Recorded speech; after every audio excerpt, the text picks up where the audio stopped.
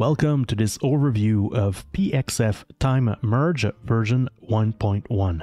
Before we get into a full setup from scratch, let's look at the new features available in version 1.1. So the first new feature we have is under the operation knob here, we have a new mode called average. This averages all the frames together. This is similar, of course, to the time echo node when set to the average mode. We also have a new uh, fade out feature. So if we enable fade out here on the right, the frames will get progressively more and more transparent or less and less opaque as we move away from the current frame. So if we have a lot of frames here, you can see that they become more and more transparent as we go away from our current frame. You can make the effect more or less uh, obvious with the fade gamma. So if we increase the fade gamma, then the fade out is less aggressive.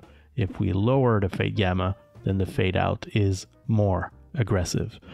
Another new feature is effect only. Now if we enable effect only, this will remove the current frame and only leave the time trail. This is useful if you want to do other things to your time trail like blur it or glow it or grade it or something and then you want to add the current frame on top yourself later with a merge for example. So now we can disable the current frame with effect only. So these are the new features of version 1.1. Now let's look at a uh, full setup from scratch for beginners. Okay, here I have a clip of uh, snow falling in front of a forest and I want to get rid of the snow and keep only the trees in the background. Typically you would do this type of task by blending multiple frames together Painting out each snowflake by hand would be too time consuming. To blend frames together, we have uh, a few tools built into Nuke. We have the Time Echo node that looks like this, and Time Echo is fairly limited. Uh, we only have three modes. We have plus to add all the frames together, max to max the frames together, and average to average the frames together. And you can of course specify how many frames you want to blend together. So that's uh, fine, but it, there no mode in here will get rid of the snow. Average is the closest. Uh, if we put a lot of frames in the average, we kind of get rid of the snow, but we can still see the streaks. And the other big problem with the time echo node is if we uh, go to the beginning, for example, of our clip, the average doesn't work because we don't have any control of whether or not we want to use frames from the past or the future. The time echo node always uses frames from the past. So at the beginning, there's no frames before frame one to average. So that's a problem. So it's fairly limited. All right, so let's look at another option built into Nuke. That's time blur. So again, we could uh, decide how many frames we want. So if we want more frames, we could do this. And now we have the option to uh, use start end and centered offset so that way we could use frames from the past or the future or both. That's fine but we're still limited to a average blend mode. There's no way to use other modes like over under uh, plus uh, min max and so on. So we're still stuck. There's uh, no option here that gives us exactly what we want. So that's why we're going to use a pxf time merge. So let's get one from the Pixelfudger menu PXF time merge. I'm going to connect the image input here. So here I have my time merge. Let's uh, change the operation to average. So that will look uh, similar to my time echo.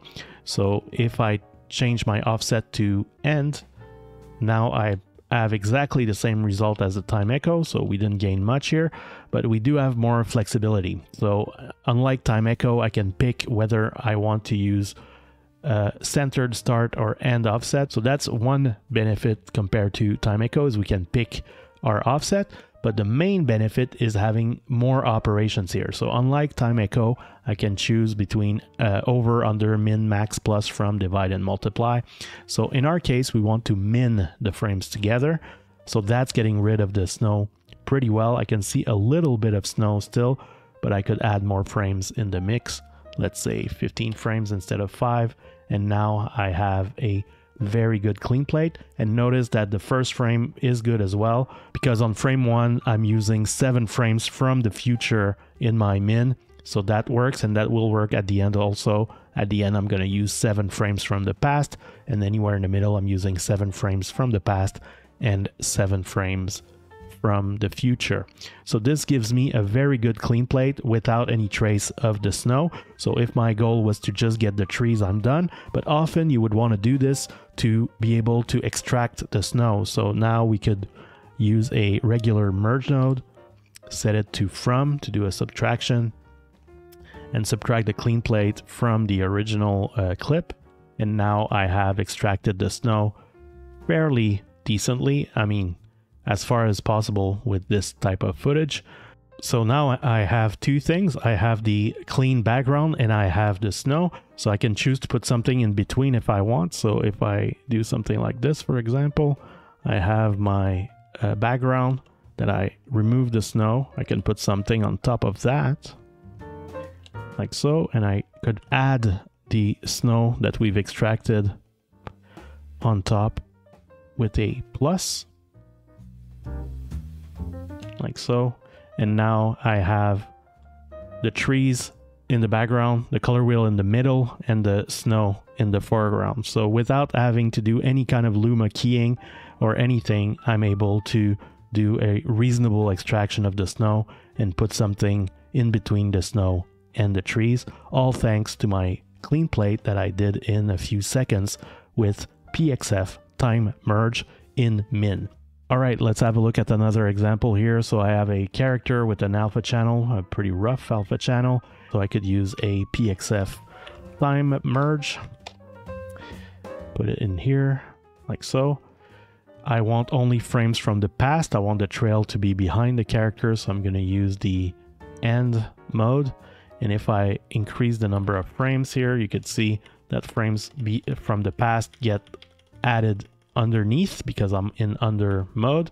But since the character is moving very slowly, there's very little difference between each frame. So they all stack on top of each other. So for that, we have the frame skip feature. So let's uh, lower our number here to 10 frames. But instead of being spaced all one frame apart, we'll use the frame skip. So now we're two frames apart and now 10 frames apart and if I keep going, let's say 20 frames apart. So now each uh, character is delayed 20 frames compared to the next one, and they're all stacked on top of each other using under. So our current frame is at the top of the stack, then the next uh, iteration is under our current frame. And this guy is under this guy and so on. So this is frames uh, the current frame. This is 20 frames in the past 40 60 80 and so on so let's have a look in motion. This is giving us a trippy time trail effect with uh, a bunch of clones all following each other. So that's another way to use PXF time merge. Now let's look at this example to understand every control and knob in the PXF time merge. So I'm going to create a fresh uh, time merge connected to our uh, clip here. So this is a simple animated image and each uh, frame as the frame number in the ball so it's easier to understand what's going on.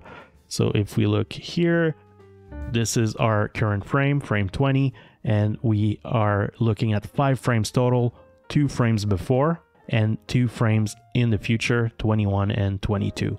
If I change the operation, let's say to over, now our previous and next frames are on top. If I change it to average, I get an average of all the frames, uh, plus adds all the frames together, max maxes the frames together. So this is the same as the regular merge node. So you're doing uh, multiple merges on top of each other. Let's go back to under. We also have how many frames we want to include our, in our uh, comp here. So if I increase the number, now I've got five frames before and five frames after. So that's 10 plus the current frame, that's 11. So that's where 11 comes from.